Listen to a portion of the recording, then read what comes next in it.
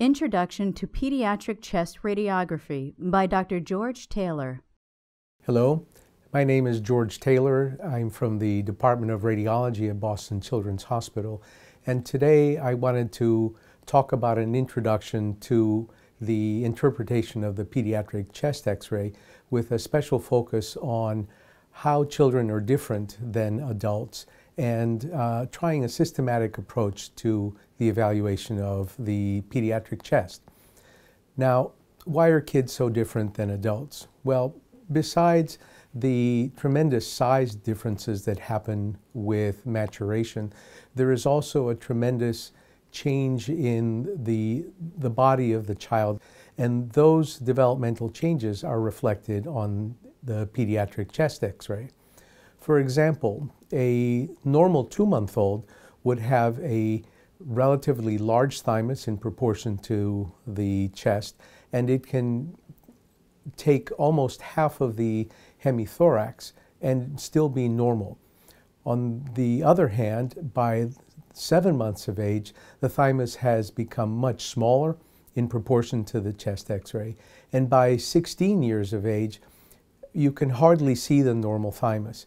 And so, if you have a 16 year old with a large anterior mediastinal mass, such as the x ray on the screen, in a child who has neurofibromatosis, this would be highly abnormal at that age and not quite as abnormal in a two month old. So let's start with a systematic approach to the chest x-ray. We will look at the lung parenchyma, the pulmonary vasculature, the airway and mediastinum, the heart, and the bony abnormalities as well. Lung parenchyma and vasculature. Let's start with the lungs. The factors that affect lung density are primarily pulmonary inflation, the pulmonary vascularity, the lung parenchyma itself, and then overlying pleural air or fluid. Here is a 14 month old who presents with cough and wheezing, and the initial frontal chest x ray shows diffuse hazy opacification of both lungs that may mimic an overwhelming pneumonia. But you'll notice that there are only seven posterior ribs of inflation. A radiograph obtained two minutes later shows a marked improvement in the opacification of both lungs. And so you can see that pulmonary hypoinflation can markedly change how the lungs look, especially in a younger baby. Here, a two year old who presents with new onset stridor, we can see an asymmetry in the density of the lungs, with the left hemithorax looking much more lucent than the right side. And if you notice also, the size of the pulmonary vessels is very different on the left side, lower, compared to the normal right side. This is a child who aspirated a foreign body in the left bronchus with air trapping and overinflation of the left lung and associated decreased pulmonary vascularity. So asymmetry is a, uh, an important thing to look for in the pediatric lung. Here are two other conditions, uh, two other situations where the hemithorax can look much more lucent. Both of these infants have a pneumothorax. The infant on the left side of the screen has a medial and anterior pneumothorax, and the infant on the right side of the screen has pri primarily a medial pneumothorax. Unlike adults, where the pneumothorax occurs more laterally to the lungs, infants tend to collect pleural air in the medial and anterior location because they are almost always in supine position and the lungs are relatively stiff, allowing them only to fall backwards rather than recoil to the center in towards the mediastinum. Now, focal parenchymal abnormalities are also very important in pediatrics.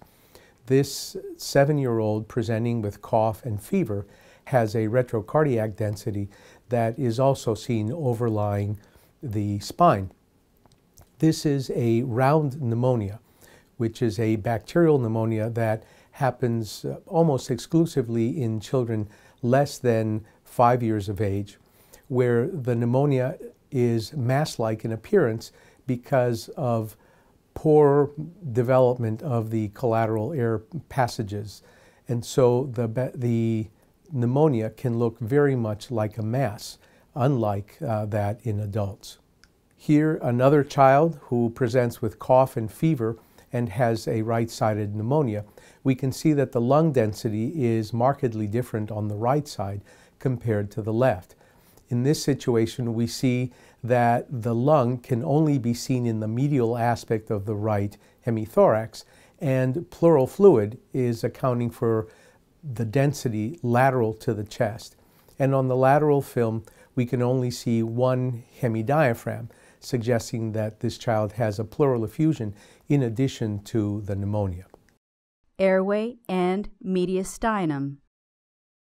Now let's consider the airway we need to look at its position, its caliber, and the possibility of displacement of the airway by abnormal structures. It's very important to know that the airway in a young child and infant is very mobile. And during expiration, the trachea can buckle almost to 90 degrees, as you can see on the frontal and on the lateral view in, in a normal expiratory radiograph. The other two features to consider in the trachea are that one should see the tracheal air column on the frontal view from the thoracic inlet all the way to the bifurcation of the trachea.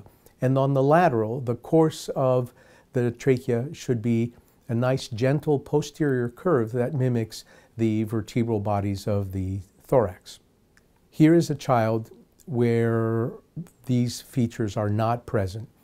This two-year-old presents with new onset wheezing, and immediately we see that the mediastinum is much too wide for a two-year-old. If you remember the first images that we showed, the thymus in a normal child at this age should be much, much smaller.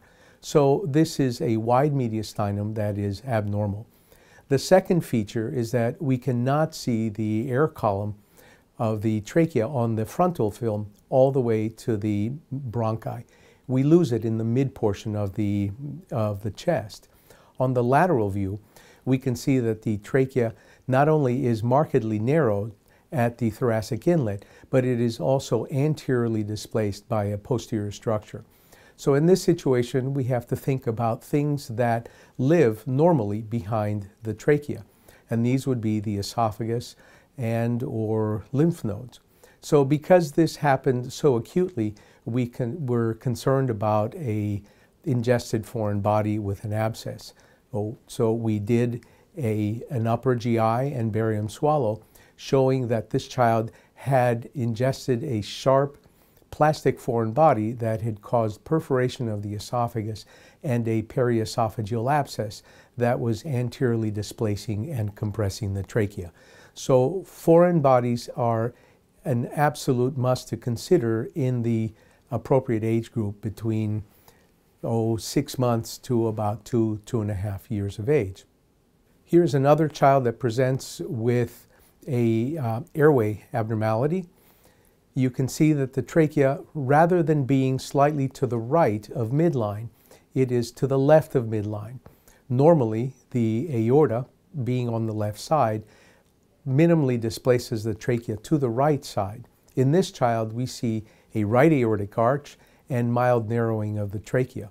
This situation can be associated with a symptomatic right aortic arch and a vascular ring. A CT scan in this child shows the normal caliber trachea in the upper image and moderate narrowing of the trachea in the lower image caused by a right aortic arch and the aberrant left subclavian artery compressing the trachea posteriorly. The other part of the mediastinum that is very important to evaluate in children is the thymus and the possibility of adenopathy. As we've seen before, the thymus can vary dramatically in size with age, and adenopathy in children is much more commonly caused by inflammatory or infectious causes than in adults. Here we have a two-month-old who presents with cough and has a large anterior mediastinal mass. But if we look at it more carefully, On the frontal film, we can see through the mass on the right side, being able to see normal pulmonary markings behind it. And on the lateral film, we can see a normal trachea with a normal caliber and filling in of the retrosternal airspace. On closer inspection of the left chest, we can see a scalloped appearance of this anterior mediastinal mass, and the scalloping occurs every time an anterior rib crosses it. And this is very characteristic of a normal thymus, which is very fatty and gets displaced by normal structures. Now, these next four images that I will show are all children that present with a right upper lobe opacity.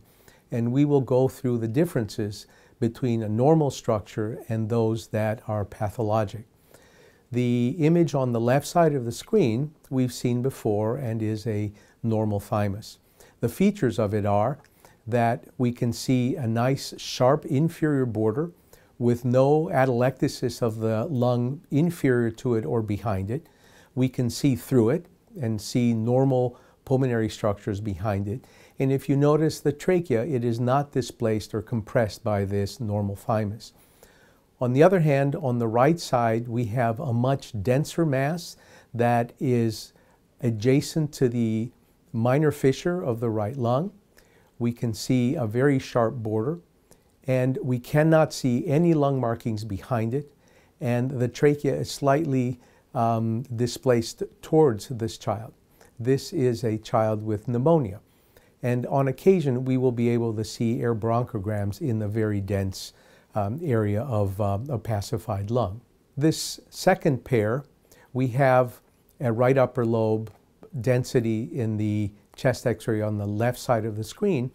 But unlike the other two, there is elevation of the minor fissure as shown by the arrow, and we can see patchy air bronchograms of that right upper lobe, and also association of the trachea being displaced towards this lesion.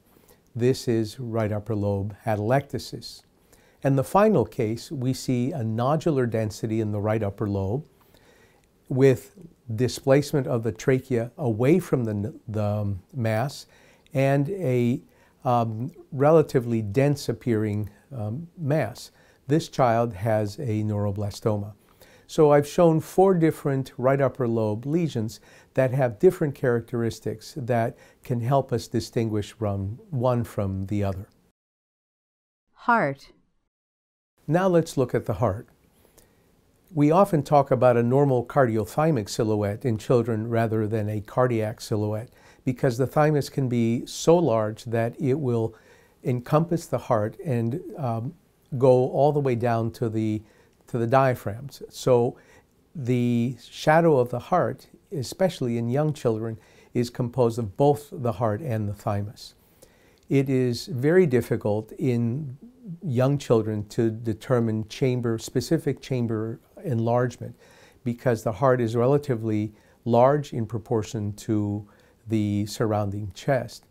And finally, we have a normal double atrial shadow is a normal finding rather than an abnormal finding in adults. Here we have a five-year-old girl who presents with cough and has a prominent left atrial shadow shown by the arrows. This is a totally normal finding in comparison to adults where the prominence of the left atrial shadow can be a pathologic finding. Bony abnormalities. Finally, a look at the skeletal system is very important when looking at a chest x-ray, especially for looking at fractures, for erosions, and absence of normal bony uh, structures. Here we have a nine-month-old who fell from her bed, and initially the heart looks normal, the trachea and mediastinum are normal, and yet when we look at the left-sided ribs, we can see that there are multiple posterolateral rib fractures as shown by the arrows. Posterior and lateral rib fractures in infants below six months of age are very concerning for non-accidental trauma. So these are very important findings to make on the chest x-ray and often require oblique images for better evaluation. Here, another child who presents at two years of age with irritability. We see what appears to be initially a normal chest x ray, but if we pay more attention to the right 11th rib, we see that the rib density is mottled and irregular and different from the other ribs. Here, a close up of that rib shows a rib that is sclerotic and eroded by an overlying neuroblastoma. So these are very important but often subtle findings in uh, the pediatric chest. So we've covered a systematic approach to the chest in children where we look at the lung parenchyma, the pulmonary vasculature, the airway and mediastinum, the heart, and bony abnormalities. These are some final take home points that I would like to leave you with. First, look at the symmetry of the lungs for density and for pulmonary vascularity. Second, make sure you look at the lung behind the heart because it's a favorite place for pneumonias to hide. Make sure you look at the size and the position of the trachea, the bones and soft tissues, and finally, ask for help if you have any concerns at all. Thank you. Please help us improve the content by providing us with some feedback.